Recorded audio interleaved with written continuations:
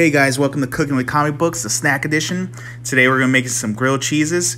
The first one we're gonna do is a quesadilla style. We're gonna use um, a blend of Mexican cheeses. We're gonna do some fajita meat on top. Of course, don't forget to butter both sides of the bread. You're gonna wanna cook this till it gets nice and brown on both sides. This is about the color you're looking for right here. Looks good. Let's get started on the next one. We're gonna do a peanut butter and jelly style right here. Throw some butter in the pan so you're able to get a nice even color on that bread.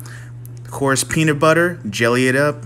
And the same thing, once you get a nice color and take it off, look at that color right there. It looks so good. Next you're going to do is just cut them right down the middle diagonally. Look at that peanut butter and jelly.